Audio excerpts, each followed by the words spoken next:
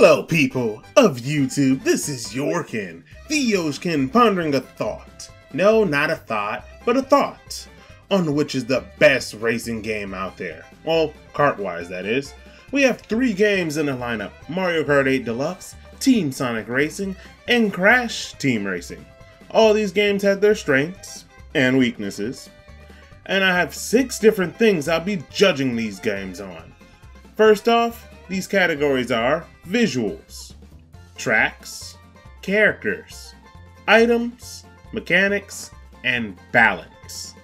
Well, I'll be starting off with Mario Kart 8, then Team Sonic Racing, and last will be Crash Team Racing for when I'm explaining all of these categories. We'll end the video by comparing all these to a head-to-head, -head, and by the way, I'm going to abbreviate all these names to just Mario Kart, Team Racing, and CTR, just so you know.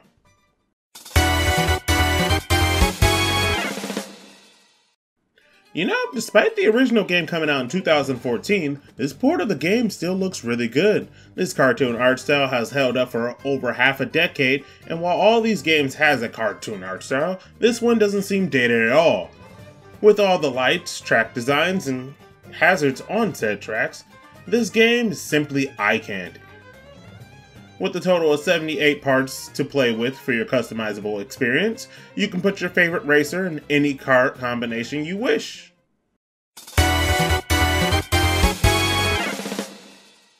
Out of all the games we'll be discussing, Mario Kart has a, has the most tracks with a total of 48. Now hold your horses there. Because it has the most tracks doesn't mean any of the tracks are any good. Actually, to be completely honest, I don't dislike any of these tracks. They're all good to play on. From diving into a coral reef to going into a haunted mansion, all of these tracks stand out.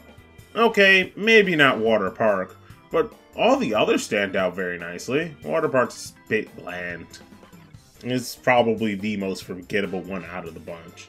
We have a total of 25 new tracks and 23 retro tracks. If I were to pick a track that I dislike, it'd probably be that new Rainbow Road. Honestly, it's a little too easy, and I'm not really digging the space station theme of the track. But, on the other hand, I have to say my absolute favorite has to be Electrodome. Being at a nightclub where someone's hitting the beats is a very fun way to race around the track. Again, none of these tracks I truly dislike, there are only a few nitpicks.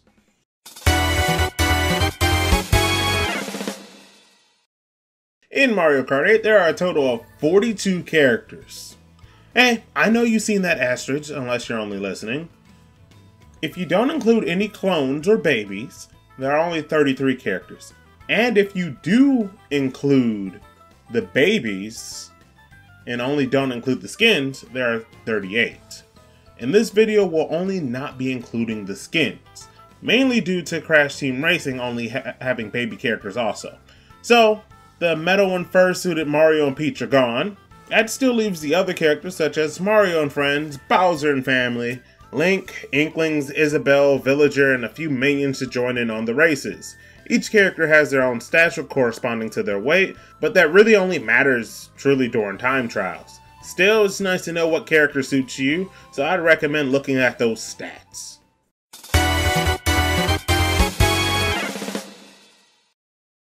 Mario Kart holding the most trophy again, this time with items being at 23, 22 only available during races, chaos ensues with the vast normal number of items this game has to offer. From boosts to tracking shells to just a plain old banana, all these items will stick out in your head.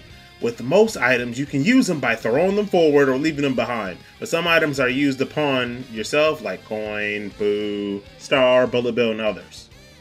All items in this game has a use.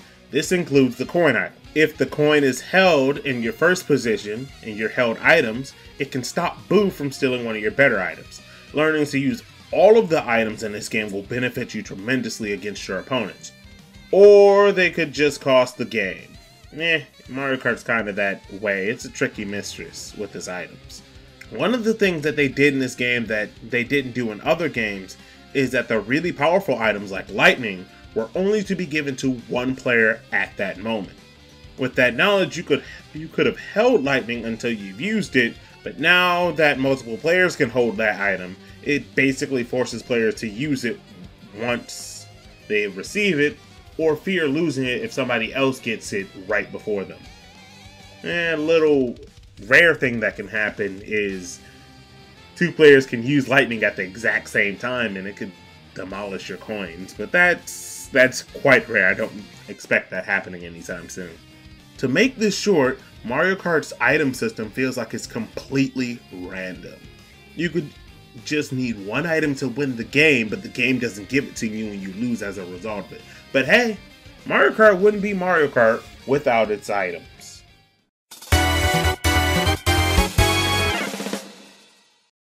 Alright, mechanics. Mario Kart has the simplest mechanics that I can think of. For the most part, you're going to be doing drifting around your tracks. That's all you're really going to be doing.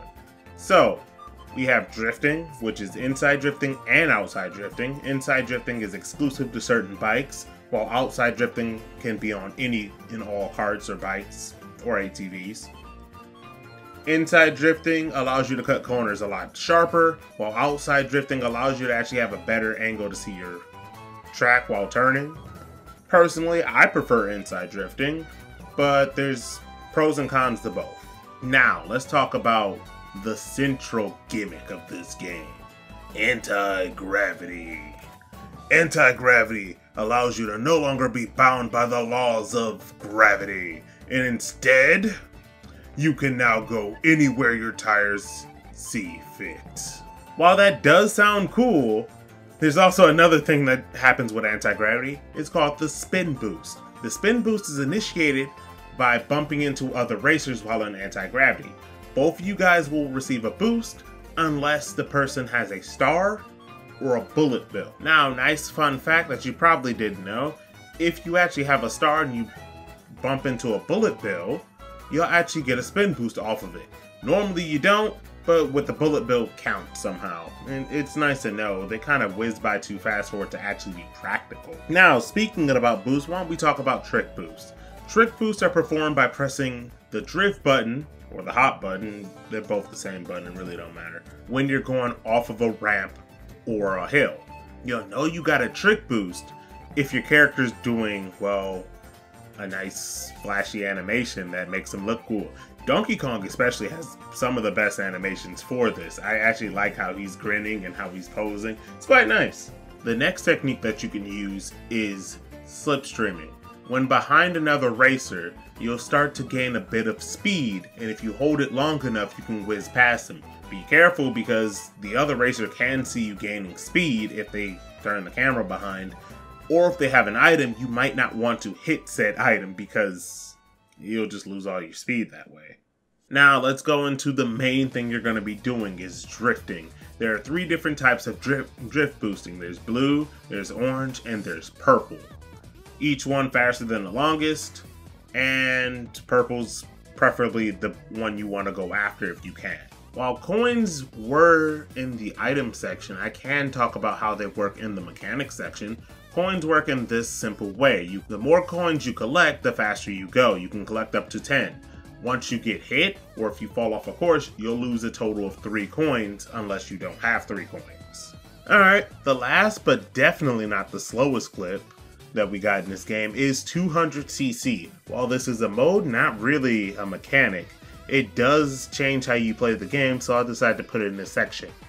In 200cc, you go fast, really fast. Sometimes it's too fast for you to actually hit some drifts right. Because of that, they allowed you now to press the brake button while drifting so you don't have to go to a complete stop to do some of these turns. I personally like 200cc. It brings a bit of a challenge and you go really, really fast. The only downside I say to 200cc is one, once you play 200cc and then go down to a lower speed setting, it is very noticeable. And two, it allows you to actually do some shortcuts that you can't normally do when on a slower speed setting. Heh, do you believe me when I said these games mechanics was the simplest now? If not, we're only getting started. We still got Sonic Team Racing and we still got Crash Team Racing to cover.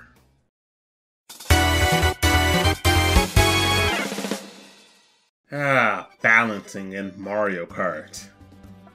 Uh, that's probably an oxymoron somewhere. If we were only talking about Mario Kart, this is probably one of the most balanced Mario Kart games around. Especially the original edition, which only allowed you to have one item. But we're talking about the deluxe edition. The reason why this game is so unbalanced is because of the item spam. You will get hit, and you will get hit a lot, especially if you're in places 2 through 11, because you will get hit with so many items you'll wish that you just it'll just stop. You just wish you were either in first or you were in last, because those are the only two places you're not getting hit. Even first place still can get hit by certain things, like the blue shell, if they're not prepared. But if this game wasn't without items, I don't think I'd be playing it. Items are an interesting concept for Mario Kart when it comes to how you play it. You gotta love them even if they screw you over in the long run, you gotta love the items. The main problem with this game allowing for two items is it allows first place to stay in first place a lot easier than it would be if they only are allowed to hold one item. First place has a chance of having two shells or two bananas or two items that can just block items. While second place and all the others, second place has to worry about trying to get the first place and defending second place it's nigh impossible if you want to get in first place and third place is still attacking you. It's one of the reasons why I really like the one item system from the original Mario Kart 8. The only hope you have is for a blue shell to come, and for the most part, they feel rather rare in this game compared to games like Mario Kart Wii or Mario Kart Double Dash where they come every 5 seconds and it was preferable that you stayed in second place, but now they're a rare occurrence and first place is rewarded for being a good player, which is kinda rare for being for a Mario Kart game. Now while I've been saying this game is random, it's not completely random. Let me explain a little bit. So, how do you get items? You get items primarily based off of your position and how far you are from first place. I mean distance wise, not as in position wise. You could be in first place, somebody could be in second place, and the second place could be halfway around the track from you, and you can get a bullet bill. I've seen this happen with my friends, and they it just happened. You could be first place, and the person could be eighth place, and all they could get are a couple green shells or a couple red shells because they're everyone's close enough. They tried to really balance it, and I honestly prefer chaos more in Mario Kart than anything else. Chaos is just fun for Mario Kart. It's just that one key selling point for Mario Kart is it's chaos. And for whatever reason, this title doesn't have very much of it. It still has plenty enough. So much that it is the most unbalanced game that we'll be talking about. But I think I got all I want to say for Mario Kart. Here goes some Team Sonic Racing. Now hold your horses just a bit. Upon further inspection and analysis into Team Sonic Racing, it kind of made me want to go back and play Sonic All Stars Racing Transformed. And from certain things that I found out about looking up Team Racing, so instead of just comparing teamed, we're gonna be adding another game into the mix. Transformed is the game we're bringing in. You'll thank me later. Besides, most of the things in these games are quite similar. If there is something different between the games, I'll explain it with teams first, and then it's gonna be transformed. Alright, alright, onward with your regularly scheduled analysis. Alright, on to the regularly scheduled video.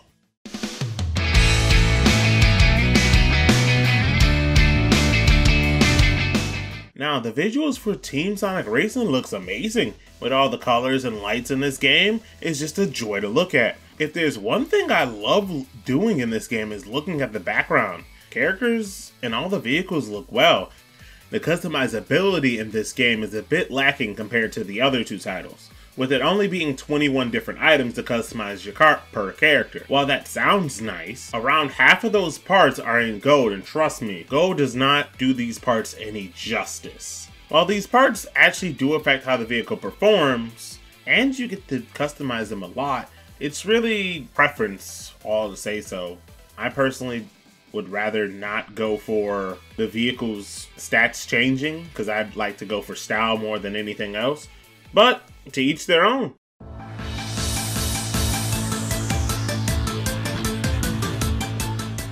Now, for Transformed. You didn't think Mario Kart 8 was the only old game, did you? Well, you kind of had to because I didn't include Transformed into this segment, did I? But that originally releasing in 2012, Transform happens to be a bit older than Mario Kart. Like the other games, too, this game has a cartoon art style. While it still holds up to this day, you can still notice as an older game. Unlike Team Racing, this game has more than just Sonic characters, but characters and tracks from all of Sega's wheelhouse. This means a bit more than just Sonic areas to look at. Unfortunately, this game has no visual customization available unless you're on PC, so you're stuck with the cart that you pick. For me, I don't mind that I'm stuck with a character's personalized vehicle, but others might it might be a bit nerve-wracking to say the least. On the plus side, your vehicle transforms during the race at certain points on the track, so there's that. All of the tracks stand out in this game for more than just how they look, but how they play as well. Honestly, I was impressed in 2012 with how I loved all the tracks just on looks alone. It's also a plus that I'm unfamiliar with some of Sega's high IPs. Hey, blame Sega for this one. They don't make any new games unless it's Sonic. So some of these characters and tracks I had to look up where they were originally from, a lot like Super Smash Bros. I digress. While this game doesn't look as good as it could if it were made like Team Racing, it isn't awful, just a bit dated.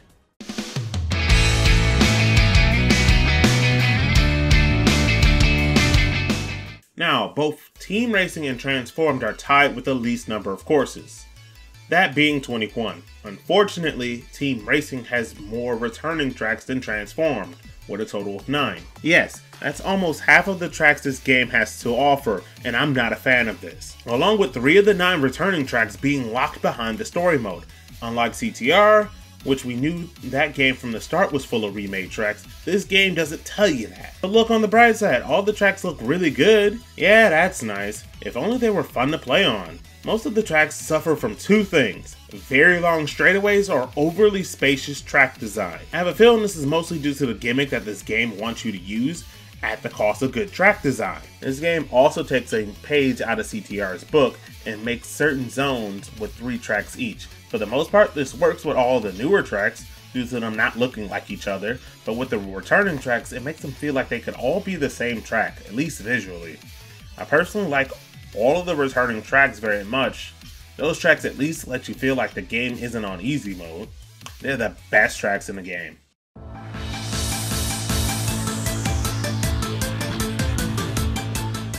Like I said earlier, this game has 21 courses, but unlike Team Racing, four of the tracks are returning. Unfortunately, one of the tracks is paid DLC. While, I, while it's not that much of a deal breaker for me, it can be for some. Majority of the tracks in this game transform during certain laps, so while the track count is low, it makes you feel like there's more than meets the eye.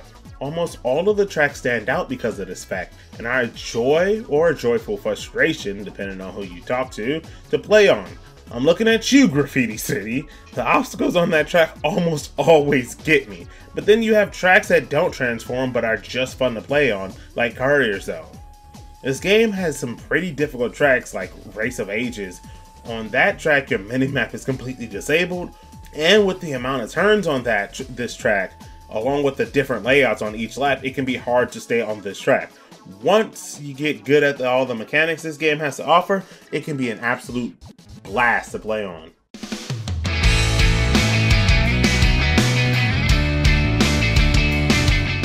This game only has 15 characters. This game only has 15 characters. I said it twice just in case you didn't hear me the first time. With that said, Team Racing has the least number of characters of all of the games we'll be talking about. Hey, on the bright side, you don't have to unlock any of them.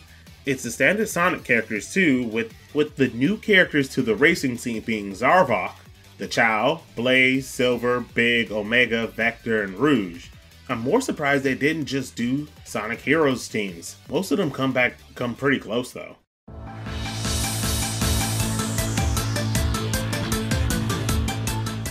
Now, depending on what platform you play on will dictate how many characters you have. On PS3 and Vita, the character amount is 24. On Xbox, Wii U, 3DS is 25. On PC is 31. Now here's some bad news. Metal Sonic for all platforms is paid DLC. If you're on PC, there are two other characters that are locked behind DLC as well. Have you taken notice of why I included Transform now? On PC, you have more than double the amount of characters. The tracks are better, and more. Since the game has more than just Sonic characters, it allows for more variety and choices you can make. This also extends to the tracks as well, like I said. But unlike in Teams, you do have to unlock a lot of the characters in the game via the World Tour, which if you only want to race with friends, this can be a pain in the butt. Speaking of friends, if you play online or with other players, no one is allowed to pick the same character, which simply blows. For this, I recommend having a few backup characters ready for you to pick, since the game allows for you to level up characters to change the way that you play them. So you might want to get used to a couple characters, at least how they feel.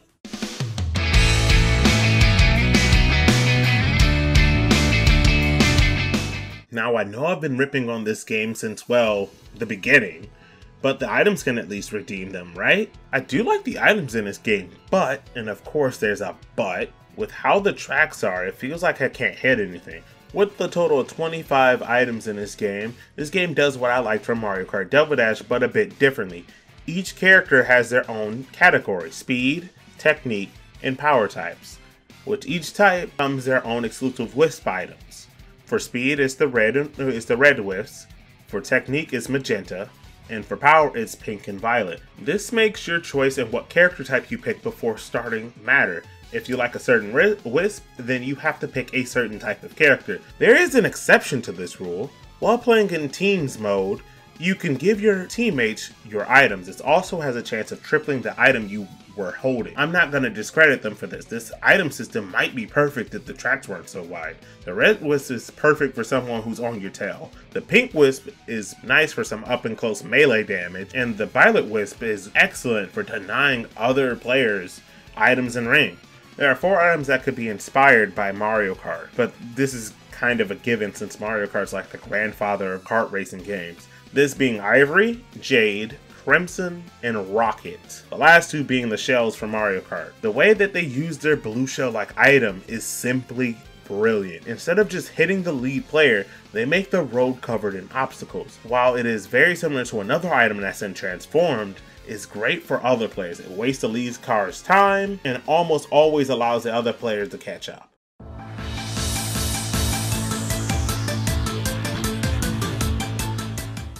You think I only like teams items, then I'm sorry to disappoint you, but I really like these two. Being tied for the least number of items at only 11, Transform makes up for it by allowing all of these items to at least be average. Honestly, being average isn't a bad thing. With all of the items being able to do their job well enough, there are some items that do stand out above the rest like the Hot Rod, for example. This item is a risk versus reward item. Once used, this item gives you a burst of speed until you press the item button again. If you do not press the item button again, your engine will overheat and you'll spin out. If you press the item button again and are near some racers, you'll spin them out with a burst of heat off your engines. This includes items that are targeting you. The swarm item, which was hinted while I was talking about the item section in Team Racing, performs exactly like the clay whips. In this game, you'll find super items in select item packs. They will always be the same if you hit them. So if it was a powered up glove, it'll be a super glove. If it was fireworks, it'll be triple fireworks. If it was ice, it'll be double ice. The one thing that's only possible in this game is if an item is targeting you, all you and you have a boost item, all you have to do is press the boost item when the item's close to you, and it'll go after another player. It makes all the items useful. Similar to Mario Kart, but even better.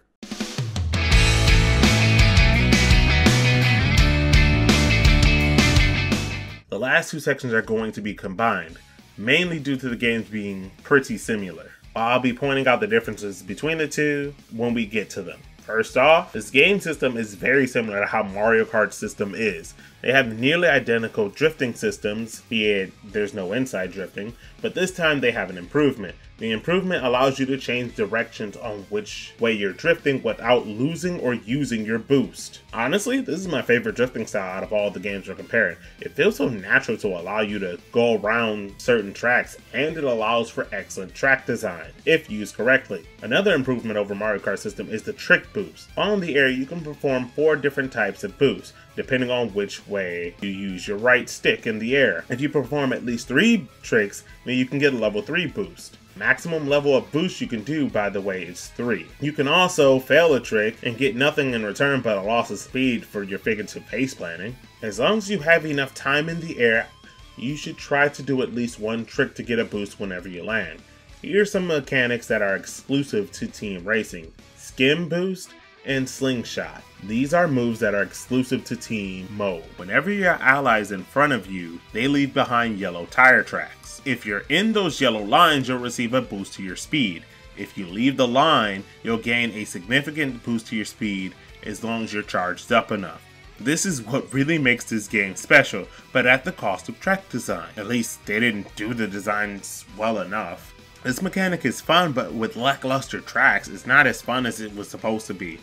We already talked about the items transfer mechanic, so we'll move on to the Team Ultimate. On the back of your car, there's a yellow bar that fills up every time you perform one of the unique mechanics of this game. When filled by hitting the corresponding button, your, you and your teammates will become invincible for a short time. And if your teammates hit the button at the same time, the duration will be longer. Honestly, if they added this to the opposing players in general, I could see this being a pretty fun and solid catch-up mechanic, allowing first place to dictate where the stragglers can improve. Yeah, there is one more mechanic that's exclusive to the team mode, it's to allow your recovery of your teammates. If your teammate gets hit and you whiz past them, you'll give them back most, if not all, of their speed. The faster you're going, when they're going, when they hit their slow, the faster they'll get back to max speed. Another thing that this game takes from Mario Kart is their coin system. This time it's ring. There's no limit to rings, and the difference is between them is once you get hit, you lose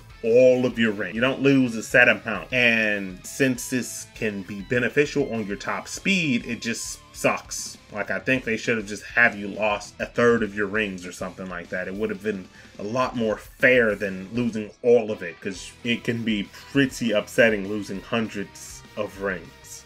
Now for the mechanics that are exclusive to Transform.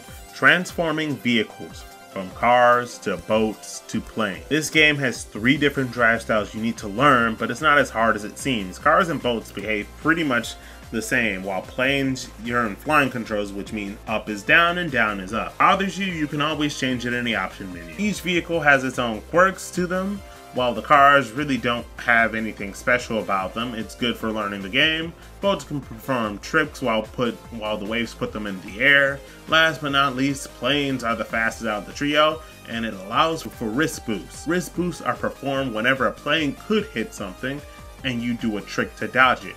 Normal tricks in plane mode doesn't give you any boost, but risk boost allows you to get some extra speed for the daring few. While performing boost, any boost before getting hit, you can dodge an item. So skilled players can dodge items as long as the track layout allows it. Transform boosts are the last thing to talk about, and while your vehicle is transforming, as long as it's not into a plane, if you do a trick in the air and land, you'll get a boost. It's nothing really special. It's just a note, and it's nothing really special. It's just a trick boost. They just call it transform boost to make it sound special, and I guess kind of epic or something like that. The mechanics in both of these games are solid and are pretty fun. The main reason I don't care for Team Racing is because of the tracks and the fact that it's not transformed. You added the mechanics from Team Racing into Transformed, it'd play really well, if not better. And that's my point. I really wish they would have made a Transform 2 and have added all these mechanics to the cars. With these solid mechanics, both of these games make for a pretty balanced game.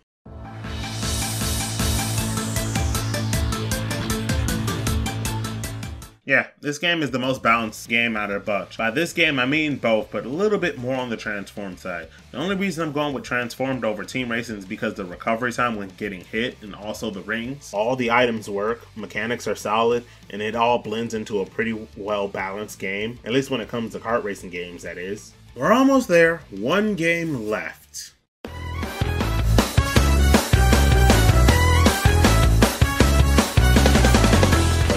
I'm going to try not to repeat what I said for the last three games, but that might not happen. This game looks amazing. Out of all of the games, I say this has the best visuals. All of the colors just pop and blend in so nicely. While this game has the most racetracks in a set region, most of the tracks don't look like they could be right next to each other. The variety of choices, not only in characters, but character outfits and skins, is simply staggering not to mention the vehicle customization. I'm not even to count how many there are, just so you know there's at least a hundred per each section if you include the body and body decals as the same section. The best part is you can choose whatever you want due to it being only cosmetic. There's a downside to this, and it falls on Activision, because of course it does. While you do have plenty of choices in this game, Activision decided to put in a microtransaction storefront into this game post-launch. I think it was a bit slimy due to the fact that it's a remake and microtransactions weren't in the original, but it could have been worse. I'm glad they seemed at least fair with the prices for the coins. I haven't bought any. The way you earn coins is based off of time spent on a racetrack primarily. So the longer you are in a race, the more coins you will receive at the end of the race. Personally, I would have liked it if the the top three racers got an extra bonus to their coins for doing well, to at least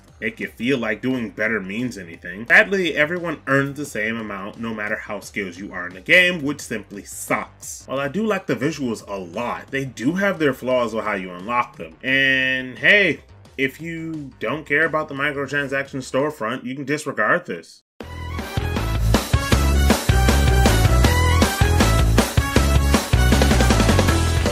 With a total of 55 characters, unless Beenox adds some more. Also, I'm not counting Fix Rillaroo as a new character for obvious reasons. Let that sink in. 55 characters. That's a lot of characters. Along with the plethora of skins and outfit you have at your fingertips, you can dress your favorite Crash character in whatever you feel like it.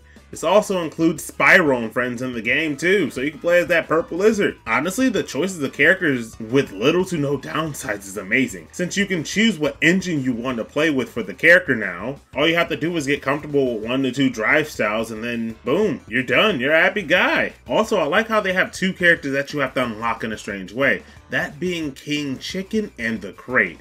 Weird and strange characters are just the icing on cake when it comes to kart racing games. I love how they added this into the game by the way of challenges. There are some characters you have to unlock completing the adventure mode, which is solid, and then there's Penta Penguin, which you have to put a cheat code into to unlock. The others, I hope you like grinding for coins to unlock these characters and skins.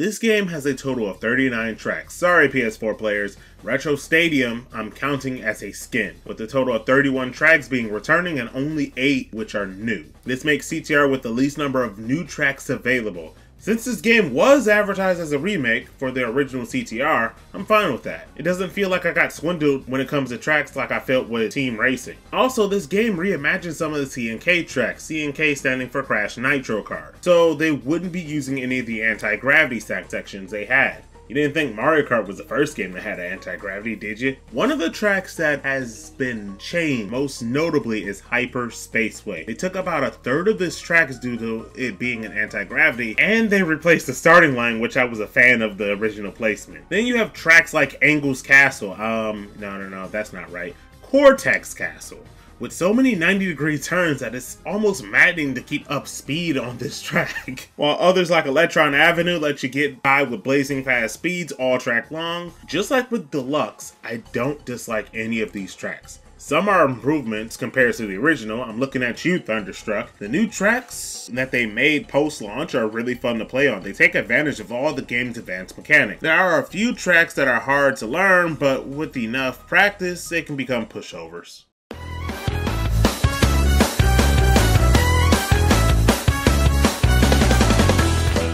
CTR is tied with the least number of items, that being 11 with Transformed. But unlike Transformed, these items can be powered up. To power up items, you have to collect the Wumpa Fruit. These fruit behave exactly like coins in Mario Kart except for when you gather 10. Once you have 10, all your items become powered up. Most of the juiced items will either last longer, some will move quicker, or hit harder.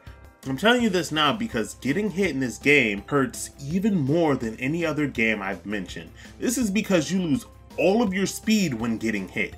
This is a big deal because you may not be able to get that speed until ways down the track, meaning you can just lose the race because you got hit. If there was an option to turn off items while playing only with friends, I would do it in a heartbeat. Not to mention, some of these items just don't work. This may be just a me problem though. I'm looking at you, missiles. I've been right behind a racer and the missile just simply goes straight without seeking them out. Sometimes it feels like they, I get hit randomly, which is frustrating because most likely I won't be able to catch up anymore. The blue shell-like item in this game is the Warp Orb, and it indiscriminately attacks other drivers until it gets to the lead racer. But powered up, it attacks everyone along the track. Honestly, this game is fun, but sometimes you wish you could just turn the items off just to see who's the fastest.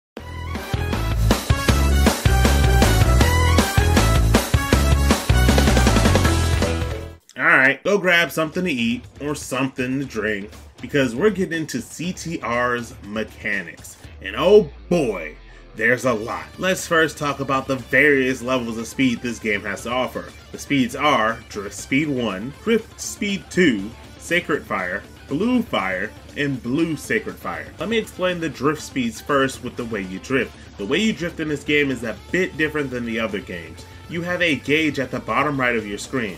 While drifting, the gauge will start to fill up. Before it fully fills, you need to press the other drift button to get a boost. This is level 1 drift speed. If you combine this action two more times, you'll get a boost to your top speed. This is level 2 drift speed. Sacred Fire, Blue Fire, and Blue Sacred Fire are all given via boost pad. Sacred Fire can also be given by a trick boost. Trick boost works roughly the same way as Mario Kart, but instead of getting the same boost for one trick, the boost is determined by how long you remain in the air.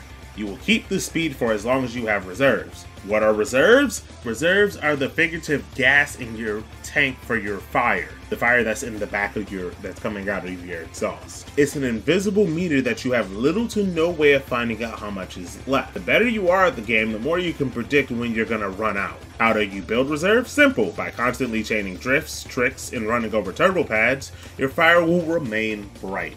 This takes some time to build up a good stock of reserves, and the easiest way to lose them is by bumping into a wall.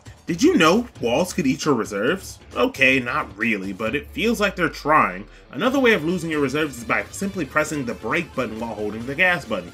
Why is losing your reserves a big deal? Well, a lot of the tracks in this game only have a few blue sacred fire pads. If you lose it, you will have to wait until you run over that pad again in order to get back to top speed.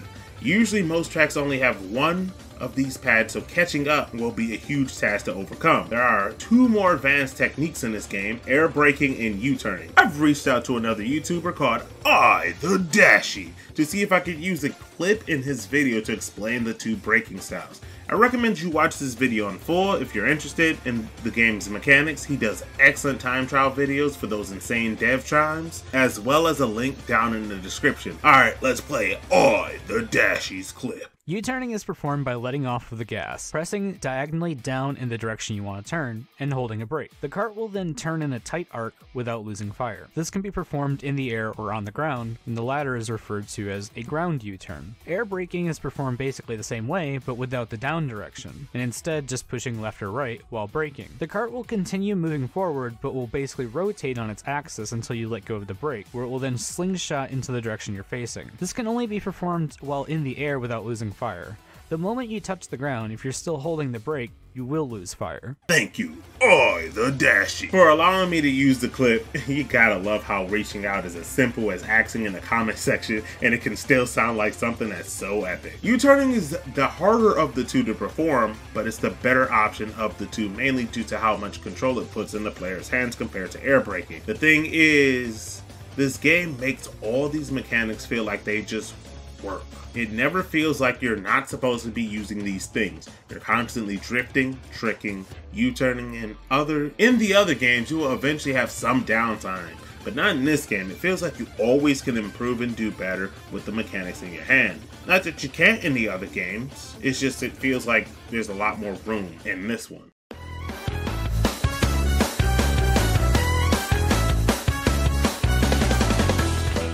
CTR is a pretty balanced game when it comes to mechanics. alone, but if you mix in items into the equation, it becomes less balanced. There is an easy way to fix this without any major changes.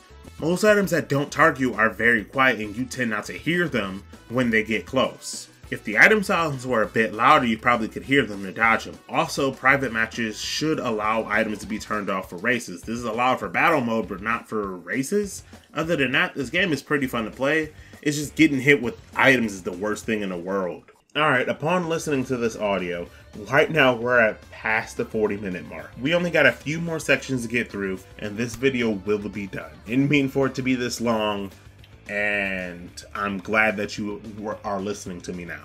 Thank you.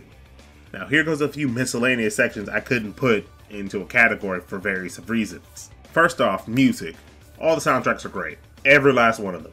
Team Racing, Transformed, CTR, and Mario Kart. They're all good, they fit their courses. And a little bonus note for CTR is you can switch between retro and remix tracks. So if you like the old school tracks, you can go back and listen to them. I usually listen to Hyper Spaceway whenever I'm playing on that track. Next things up, online.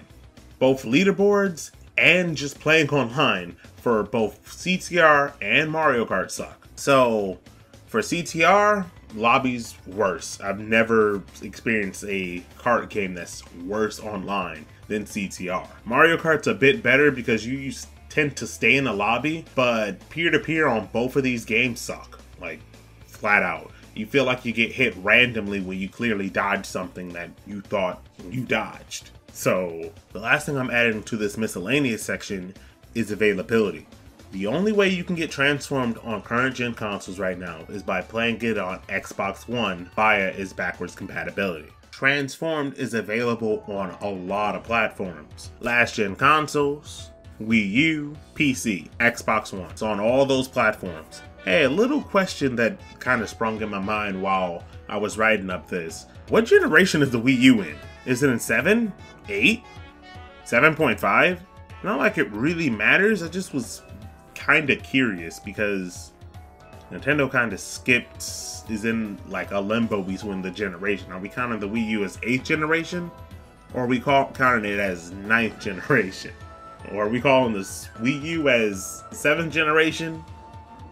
Or 7.5 or 8? Like, that's always kind of confused me. If anybody got an answer, drop down in the comment section. Now, per console, I'm going to tell you what game I recommend per console. If you have an Xbox One, get Transformed. It's the best deal. It's only about 20 bones you can spend, and it's a really solid racing game.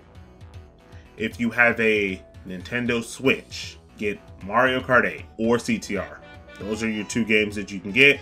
If you like balance games, go for CTR. If you like chaotic games, go for Mario Kart. If you want a hard racing game, go for CTR. If you want a kickback and a relaxed, fun time game when you're hard out at work or school, go for Mario Kart.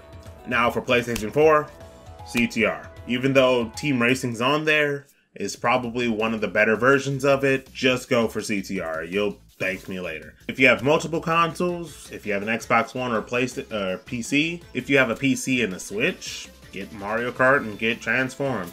If you have a PC and you have a PlayStation, get CTR, get Transformed. You see, I'm kind of recommending Transformed a lot. It's a really good game. Not only is it cheap, but it's really fun. Now it's time for the moment we all been waiting for. The rankings of YoshKen. We're gonna be ranking these games from best to worst. Wait, I said that wrong. We're gonna be ranking these games from worst to the best. Now, this is gonna be a tough, hard fought competition. We don't know what's gonna be fourth, and we don't know what's gonna be first. But we're gonna try and see if we can sort through it. Well, that was a lie. We already know what's fourth. It's Team Racing. And it's not like I really want to pick on this game. It's because it's an average game going against amazing games. It puts the standard for being the worst at average. So it's not that I don't recommend team racing, it's that I don't recommend team racing. nah, to be serious, it's a fun game. It has a good soundtrack and the mechanics are really good, but if you have the option, just go for the others. Now, number three CTR. You might be wondering, I had a lot of praise for this game. One of the reasons why it's number three and not number two is mainly because of the microtransactions. I just don't like it. They shouldn't be in the game. The game's fun and all, but they shouldn't be there. Second reason why it's there is because of the time based mechanic for how fast you can earn your coins. Even though it's only cosmetic, it still irks me very much that CTR has a time based mechanic in it. I do not like earning things based off of time alone. I like earning things based off of how well I perform. CTR doesn't do that with its coins. Again, I've said earlier in the video, if they had it where the top three got bonus coins for being in the top three places, that'd be much better. But with that, nah. CTR is fine. And if you really like CTR and don't care about the microtransaction, you can switch two and three around. Now for number two Mario Kart 8 Deluxe. Now, you can say this is biased because it probably is, but Mario Kart has always been my bread and butter. I've loved Mario Kart since I was a kid. I've actually it's one of my first games I've ever played, and I've always loved the chaos in it. I feel that if all these games were released within a three-year span of each other, I'd still be playing Mario Kart probably over CTR. It's not that CTR is bad. Hey, it made number three out of four. So it has to be doing something right. And it was a close spot between this and CTR. But Mario Kart has more courses. The track designs are excellent and not saying that CTR's isn't. And the items all work, maybe a little bit too well. But that's the fun in Mario Kart. It's chaos incarnate. You have to like it or you don't. That's how Mario Kart is. And now for number one. Transformed. Now, there's a lot of things I can say about Transformed. It's done a lot of things I've been hoping for a racing game since I was a little kid. One of the first games I played, other than Mario Kart, was Diddy Kong Racing. One of the things that I loved about Diddy Kong Racing was the fact that you had three different ways of playing the game. You could play by car, boat, or plane. In this game, it does it all, with a bit of a twist. You can't actively choose if you're in a car, boat, or plane, but the game actually tells you when you go into it. So it balances all of these so planes can't just dominate in every course available for them. And it makes the tracks dynamic. Yes, Mario Kart's had this along with uh, Crash Nitro Kart. Mario Kart had it with Grumble Volcano originally, and Crash Nitro Kart had it with its activation crates. But this game is completely centered around this main gimmick, and it works so well. I really had wished that the kart racing game genre took a lot more notes from this game and made transforming tracks, not even transforming vehicles, but transforming tracks, where certain tracks were just different around when you drive them every time. It'd be amazing. Even if it was only visual, it'd still be cool. Most games don't do that. I don't really see very many of the games do this very often. This is a game I've been wanting since I was literally a child. That's what makes it one of my favorite games of all time. It's that and it delivers. It has a good cast of characters. The mechanics are solid, along with all the other games. But it's just everything blends so well in this game. That's why I love Transform. That's why it's my number one game. It's so good. It's too good. And that's kind of why I put it on this list because Team Racing disappointed me. I really was looking for Transform 2. I might say, okay, they took out the transforming elements. Now my expectations were like sky high for when it was, and now it's lowered to the ground. And I was like, ah, this game's now average. I'm talking about Team Racing, not Transformed. I'm gonna say this game's just average, and I was really looking forward to them doing something. You got the mechanics and everything that I liked in it, but it just didn't have the transforming aspect or the tracks design. That was the main thing that hit me with Team Racing. I really wanted it to be a Transform 2, and it wasn't. It didn't even really come close. It's just an average racing game. So if you're wondering why I kind of side swiped you with Transformed in this video, that's why. I had to put this game in this video, or Sonic would have just plainly lost to Mario Kart and Crash. But in this case, it kind of went too much because Sonic ended up dominating due to the fact of it was a really good game. So, the best mascot racing kart game of the last decade happened to be Sonic All Stars Racing Transformed. Hey, I could be wrong. If you think there's a different game out there that beats this game, drop down in the comments and tell me how you feel about it. I could be wrong. Maybe there was some other mascot game I've never played. I know Garfield was down there, but I didn't touch that game. I thought, yeah, the controls didn't look too good for that game. First off, thank you, iTheDashy, for allowing me to use your clip. And two, thank you to 7.62 Nato for joining me for the Mario Kart footage. Well, I thank you for watching this video. It's an extra long video for my first recorded video coming back. If you like, could you share it? That's about it. That's all I would ask. Um, but this is Jorkin, the YoshKen. I'll see you guys on the track, and if you have any questions, I'm currently streaming because I'm I got nothing else better to do. So if you find that something confused you in this video, pop up in the streams or go down in the comments and I'll answer your questions. Alright, but I'll see you guys in the next one. Bye bye.